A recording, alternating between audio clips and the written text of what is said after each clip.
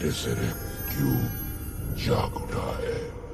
वो एक छोटी सी दुनिया में है। इंसानों की दुनिया। वो इसकी ताकत को हासिल करना चाहेंगे।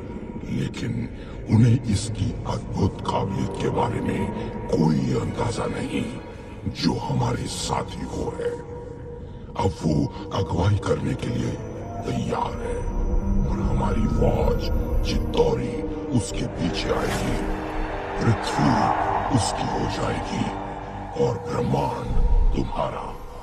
अब इंसान के पास क्या चारा रह जाएगा सिवाय जलकर खाक होने